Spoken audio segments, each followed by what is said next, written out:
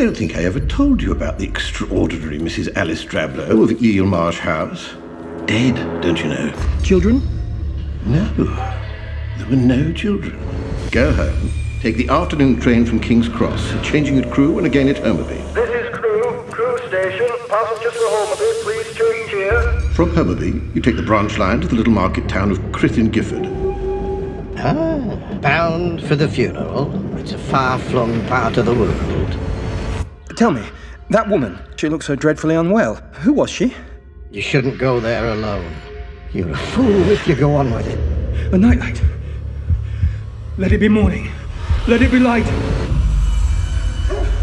Spider? Who is it, Spider? Who is it, girl?